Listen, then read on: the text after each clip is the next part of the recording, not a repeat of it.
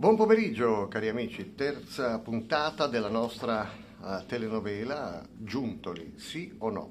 Ricorda un po' la favola di Cenerentola che scappa a mezzanotte, perché a mezzanotte abbiamo poi eh, la scadenza del termine perché la Juventus possa eh, depositare questo contratto che non sarà stato scritto in, in un attimo immagino. Comunque, alla fine il principe azzurro sta provando le scarpette, Scanavino che proverà le scarpette, battute a parte.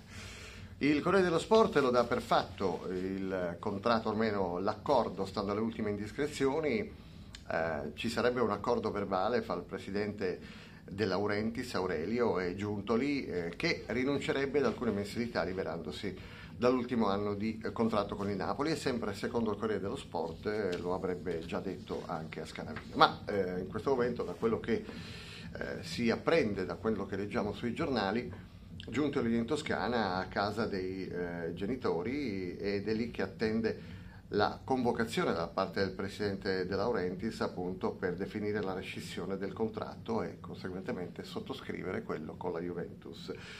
Nelle puntate precedenti avevamo parlato della proposta, o meglio della Juventus e sul fatto che gli fosse stata anche proposta l'acquisto di un calciatore per liberare Giuntoli, cosa che è caduta nel vuoto eh, e però eh, hanno lasciato tutta la responsabilità e l'arte diplomatica a Giuntoli nel liberarsi e insomma tattica che sembra da quello che leggiamo, però attenzione perché il colpo di scena è sempre in agguato, possa aver fatto breccia eh, nei confronti di Aurelio De Laurentiis, Vodandonio, dopo i contatti telefonici. Quindi mancherebbe pochissimo, non siamo sul filo del rasoio per sbloccare la situazione e vedere Giuntoli nella fredda e affascinante Torino.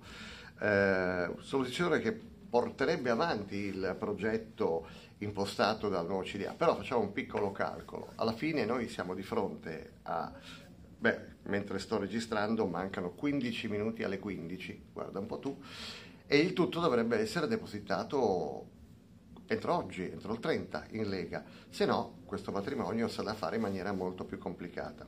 Noi siamo qui in attesa. Lui rinuncerebbe ad alcune mensilità, insomma un miliardo, un miliardino, un milione di euro, scusate, pur di arrivare alla Juventus. Però in questo momento notizie alla terza puntata della telenovela non ce ne sono, ma noi la seguiremo con costanza. Se ci sono aggiornamenti siamo qui. A prestissimo.